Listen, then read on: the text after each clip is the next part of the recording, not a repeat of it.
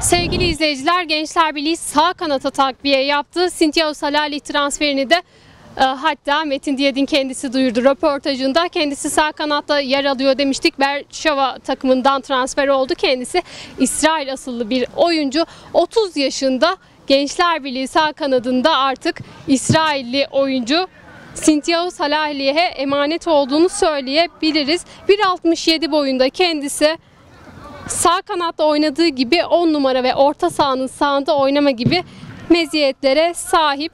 Gençler Birliği bu transferi gerçekleştirdi. Henüz duyurmadı ama ilk olarak Klas TV'den duymuş olacaksınız.